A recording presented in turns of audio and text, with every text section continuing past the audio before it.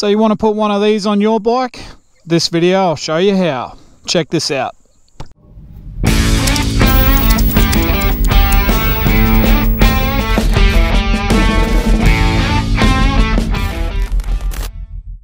What's going on guys?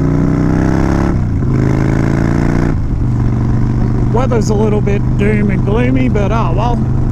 So I just wanted to make a quick video in case you like the look of that headlight grill. I know you see millions of these things on Sporties, but not on too many Dynas. So when I was doing my research, I thought, oh, I'll have a quick search on YouTube, see, you know, what do you got to do to fit one of these bad boys?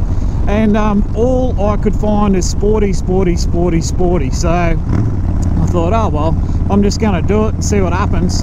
And there was a couple of differences between what you got to do to fit one to a sporty and to a Dyna. So so here's a few tips if you fit one of these to a Dyna. So we'll cut back to the shed.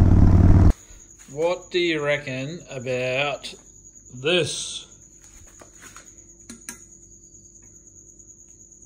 And you reckon that's gonna look a little bit fucking Mad Max-ish? Advantages of having a tank lift. That is the headlight plug. So all you have to do is unplug it and pull it through. You don't have to take your tank off if you're working on a Dyna, put one of these headlight grills in. So that's a bit of a bonus. Less work. We like that. So then pretty much all you got to do guys is undo that so you can slip that um, that ring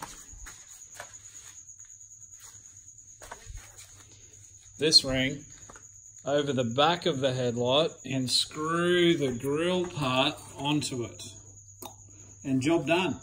So let's do that. And then you've um, unplugged the headlight, undone that, slide the ring over the top, put your headlight back in, and screw the grill on and you're fucking done. So it is that easy. It's literally a five minute job don't even know whether I'm going to post this video online or not.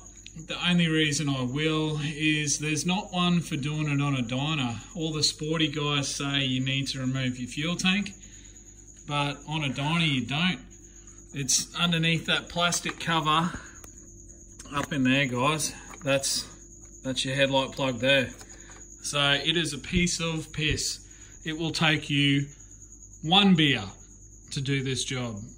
So it's hardly worth a thumbs up, but if you're gonna do it, you might appreciate the video. So come on, give it a thumbs up. But um, I'll show you what it looks like when it's finished anyway. So give me 27 seconds. Cue SpongeBob. 3,000 years later. And well, there you go. Finished product. I like it. Looks pretty good. Let me know what you reckon in the comments, guys. Would you run one on your bike, or you think are they just sporties, or can Dynas pull them off? Alright guys, I'll leave the video here. No need to drag this one on. Very simple install. You don't even need a stubble if you're talking Revzilla beard difficulty fucking thing. So, so there you go, guys. Nothing too tricky there. Um, not going to be a long video. I just thought if anyone is going to do this to a Dyna they might find this useful. So there you go. If you enjoyed the video give it a thumbs up. If I haven't got one out of you already hit that subscribe button and I will catch you later eh? see ya